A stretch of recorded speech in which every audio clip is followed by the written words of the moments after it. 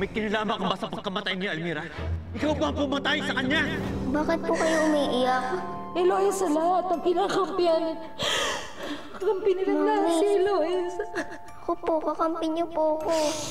Hindi ko na nga po kinakausap yung kaibigan ko kasi di ba po, ayaw niyo sa kanya. Bakit ka nandito? Eh, di ba magkaibigan tayo? Huwag ka na magpapakita uli sa akin! Hindi ako papayag na ilayo ka sa akin ni Ate Amanda. Lalaban na ako.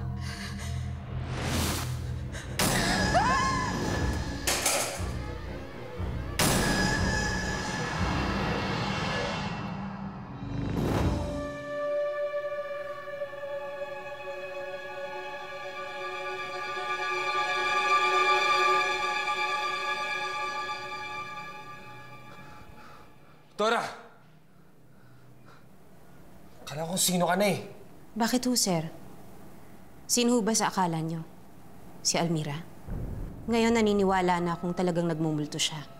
Dahil nagpakita rin siya sa akin. Kayo ho, sir. Mag-iingat kayo. Baka sa susunod magpakita din siya sa inyo.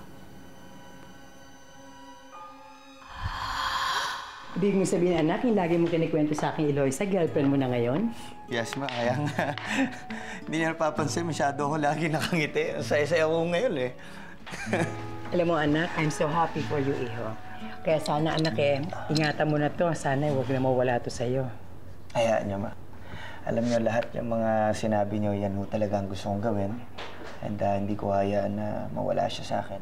It's, uh, I will protect her. Sigurado ka bang napainom mo na ng gamot si Eloisa? Oo naman, Alfie.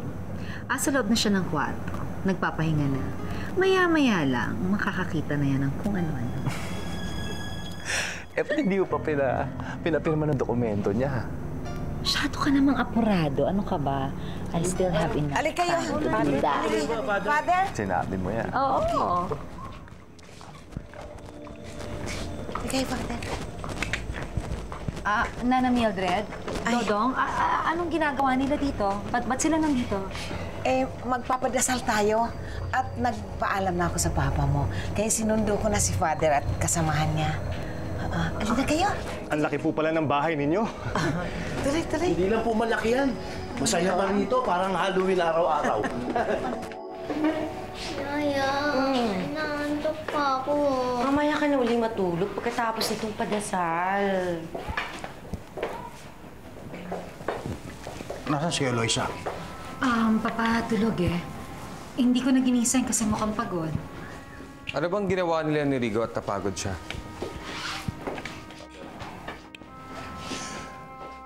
Pwede na siguro natin simulan. O, sige po.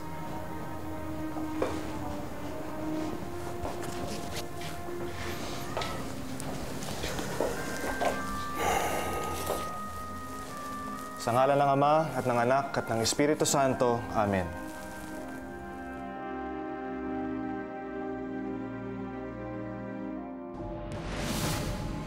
Ate, hirap na hirap na ako. Hindi ko na kaya.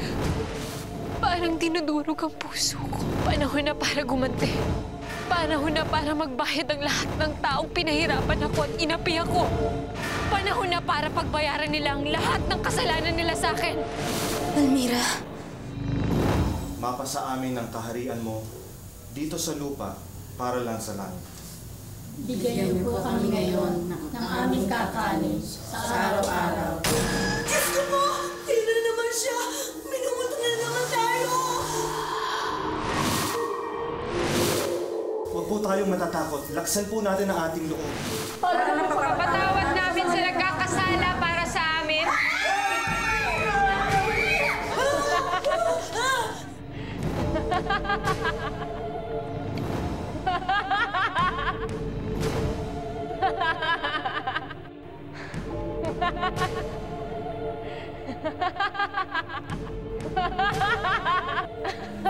Almira! Ikaw ba yan? Tama na! Tigilan mo na ito! Sa tingin niyo ba mapapatigil niyo ako sa pamamagitan ng mga dasal niyo, ha? Mira! Yaya! Saan tayo pupunta? Ayoko na dyan sa bahay na yan! Tum mo na ako kina Diding! Ayoko Sasama ako! Sasama na ako sa'yo! Ayoko na may multo dyan eh! Hoy, akala ko ba hindi ka natatakot? Hindi kasi ang lakas ng presyo sumulto eh. Hindi ko kaya. Tsaka natatakot na rin ako eh.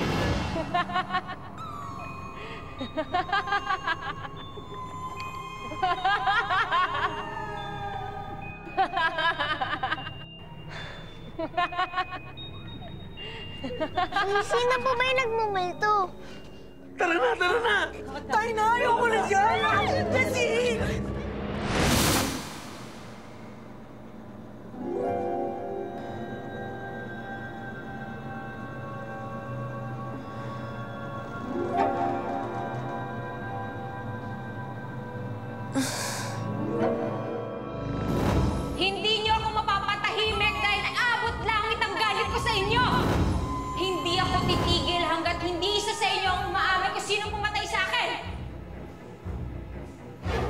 Almira? Almira, anak. Tama na. Nakikiusap ako sa'yo. Manahimik ka na.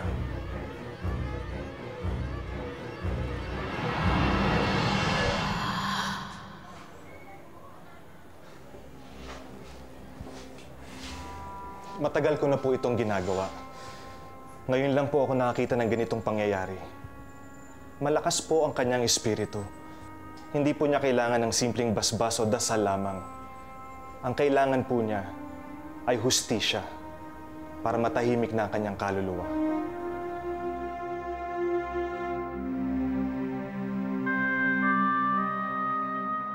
Akala ko naman nagbibiro ka, friend, na minumulto kayo dito sa bahay na to. Nakakaloka, ha? At bilib ako sa'yo. Nakakatagal ka dito. If I were you, lalayasan ko tong bahay na to. Eh, ba't kasi hindi mo papapirmahin yan si Eloisa dyan sa dokumento sinasabi mo? Yun ang bala kong gawin, Alfie. Dahil hindi na ako makakatagal sa impyernong bahay nito.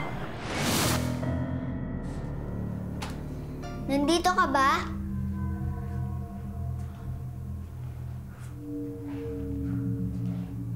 Nasaan ka? Magpakita ka sa akin!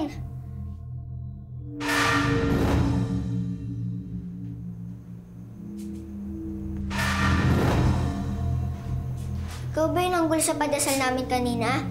Ikaw ba yung nanakot sa kanila? Ako nga. Bakit mo ginawa yun? Bakit mo sila tinakot? Kasi nagagalit na ako. Kasi alam kong ilalayo ka sa akin ni Ate Amanda. Kaya ako sila ginugulo. Huwag mo na ulit uulitin yun.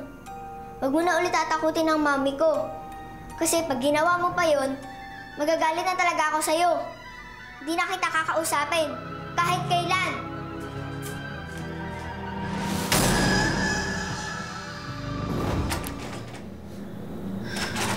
Almira? Almira, ikaw ba yan? Almira?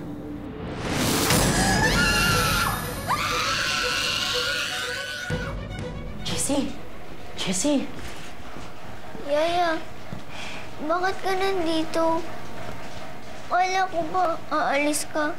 Eh, wala siya sa kabila eh. Kasama raw ni Santi. Nagpunta doon sa buro ng ate ni Alex. Eh, yun, no choices ako. Kaya dito na lang ako.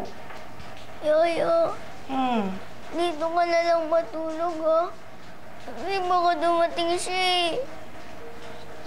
Sino? Sino, sino siya? Si Almira. Ayoko kasi siyang makita eh.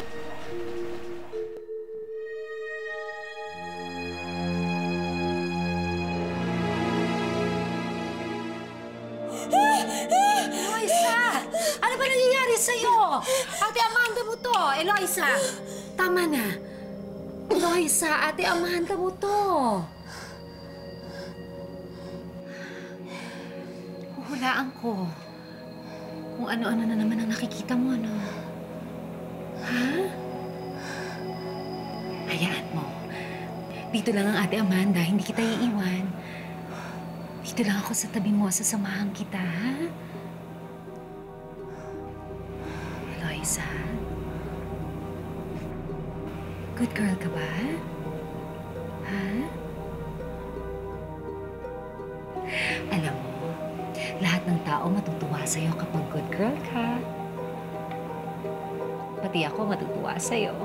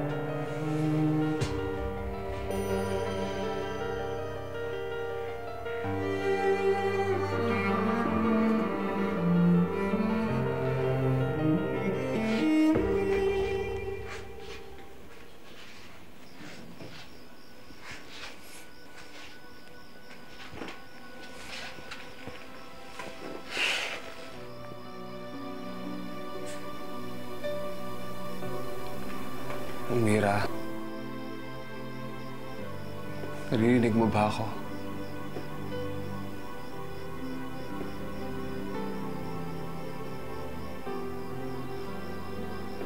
Almira, nandito ka ba?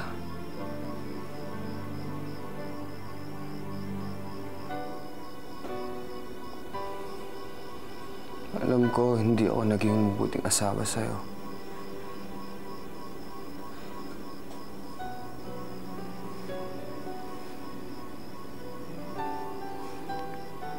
Kung may babalik ko lang, Almira.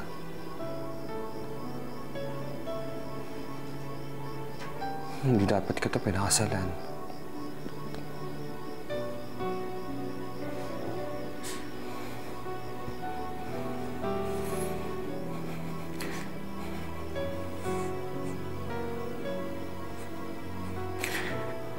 Hindi ko dapat pinatay si Galo, Almira. Hindi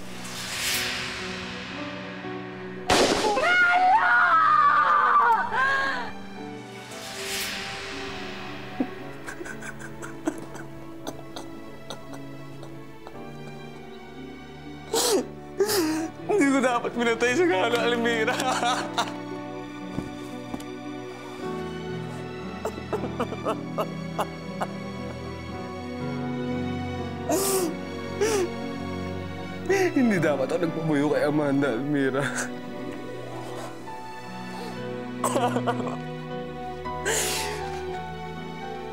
Almira, patawarin mo ako.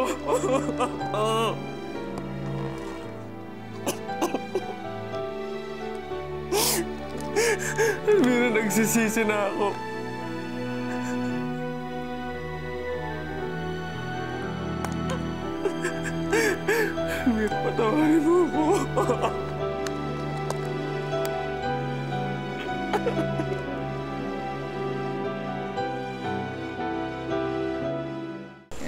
Kain na kayo ha. Here's your food oh.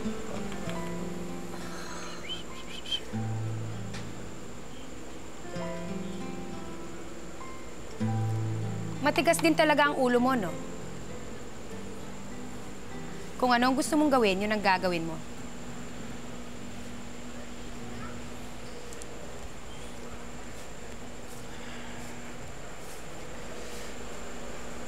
Ka ba ganyan magsalita, ate? Baka akala mo hindi ko narinig ang pinag-usapan yun ni Mama kanina. So, girlfriend mo na pala ang Eloisa na yun. Alam mo, kung magsasalita ka pa ng masama against kay Eloisa, huwag mo na ituloy dahil hindi rin ako makikinig eh. Tsaka una-una, hindi mo naman kilaling tao, pinipintasan mo. Pinapaalalahanan lang kita dahil concern ako sa'yo. Ikaw lang ang lalaki sa pamilya. Kaya ikaw lang ang magdadala ng pangalan natin. Kung alam kong hindi ka seryoso sa kanya, okay lang. Pero sa narinig ko kanina, alam kong seryoso ka na sa kanya. Mag-isip ka nga, Rigo. Paano kung magkatuluyan kayo ni Eloisa? Paano kung magkaanak kayo? Makakaya mo kayang tanggapin na yung anak ninyo maging baliw na kagaya niya? Magaling na sa Eloisa. Hindi na siya baliw. Pero alam mo pwedeng manahin na magiging anak niyong naging sakit niya. Doktor ka. Kaya alam mong malaking posibilidad na pwedeng mangyari yon, hindi ba? Mag-isip ka nga. Paano kung nagkatuluyan kayo at nagkaanak ni Eloisa? Kaya mo bang magkaroon ng anak na baliw kung magkatuluyan kayo ng Eloisa na yon? I don't think so. Kahit sino magulang, hindi makakaya yon. Kaya mag-isip ka.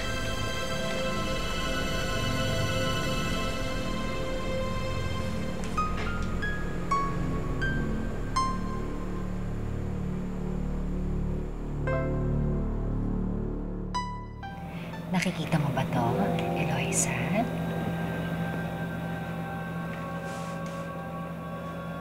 Ayan. Sige, patunayan mo kay Ate Amanda na good girl si Eloisa. Ha? Kasi kapag good girl ka, hindi lang ako matutuwa. Pati si Almira matutuwa sa'yo.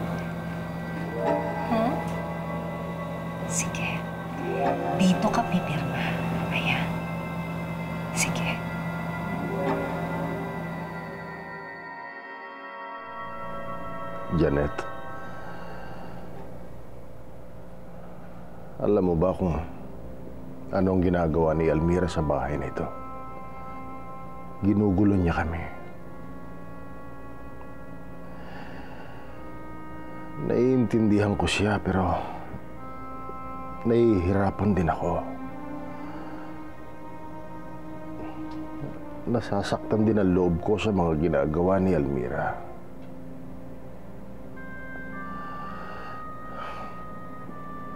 Tulungan mo naman kami. Kausapin mo naman si Almira. Patahimikin mo na ang anak natin.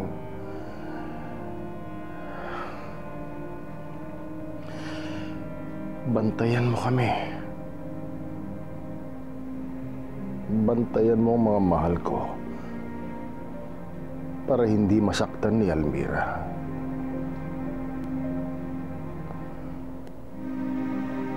Nakikiusap ako sa iyo, Janet.